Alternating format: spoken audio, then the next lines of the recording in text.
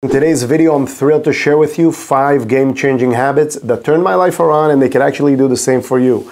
So grab a pen and a paper because you're about to learn some very powerful strategies to level up your financial game. Are you ready? Let's get started. Number one, think like an investor, not a consumer. Now, let's kick things off with a mindset shift that actually changed everything for me. Thinking like an investor, not a consumer, instead of splurging on the latest gadgets or designer clothes, I simply started asking myself this question How can I make this money work for me? Now, by investing in assets that are appreciating over time, like stocks and real estate, I began to build wealth instead of just spending my money. And I want to share a story with you. It's actually a story about my first earned dollars, specifically 3000 which now turned into $333,000. And I was in my early 20s when I purchased my first condo. And I could have gone out of the town and done anything I wanted to, but instead, I decided to think long term and I decided to invest this money into real estate. Now, fast forward to today, this minimal investment has more than quadrupled in price, and my equity went from $3,000 to $333,000 $1,000. Pretty amazing when you think about long-term investments and you can do the same. Let's talk about number two, which is embrace smart spending habits. I want to talk to you for a minute about millionaires. They're not frugal for the sake of it. They're just strategic about where they put their money. By distinguishing between the needs and the wants, many of them cut back on necessary expenses and they start prioritizing the long-term investments in both experiences or appreciating assets like we discussed. I'd like to share a story with you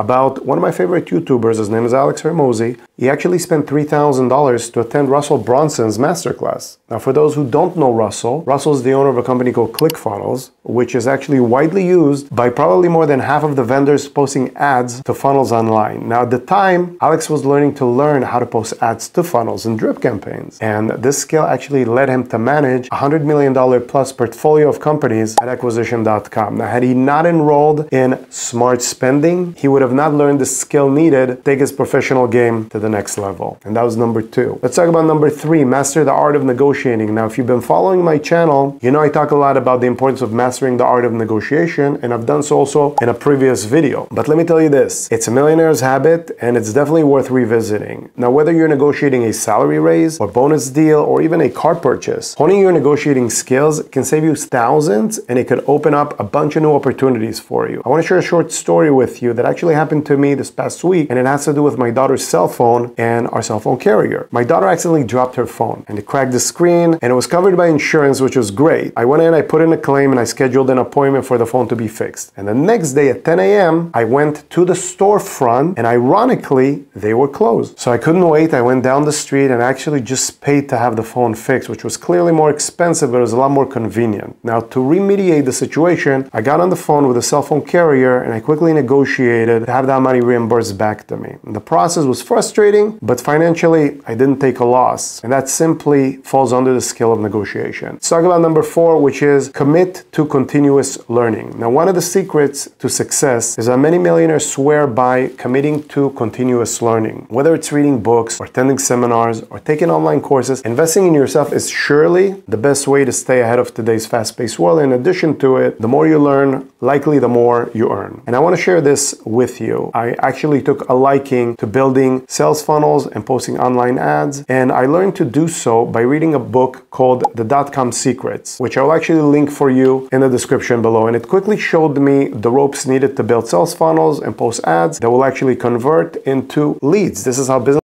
generate leads online in 2024. Last but certainly not least, let's talk about taking calculated risks. I'm not talking about gambling your life savings on a whim. I'm talking about carefully assessing opportunities, doing your research, and then having the courage to actually take action. Because remember, after all, fortune favors those who actually take action. I'd like to share this story with you. It's about how I got started with my company. I worked for an independent shop for about two years, and while I acquired the skills needed to make money, working for a steady paycheck to being self-employed to actually quadruple my income. And ironically, I packaged everything I learned in those two years about commercial loans and I created a course called the Part-Time Commercial Lender Academy for anyone and everyone who's looking to get into the lending field, which is what I do. And all you need is a simple real estate license and you can start earning lucrative commissions. You're welcome to check this out in the description below. And there you have it, the five millionaire habits that transformed my life and it could do exactly the same for you. Now remember, success is not a matter of luck It's a matter of habits. And as a matter of fact, there's this amazing book called Atomic Habits, which I would love to link for you in the description below. It's actually a mastermind read about the difference between simply setting goals and changing your actual habits. One of them is a lot more attainable than the other. Talks about a lot of things that I think you would really enjoy. If you enjoy this video though, please remember to hit the like button so Google will continue to push this to interested viewers like yourself. Also, if you would like to see more similar content to this, then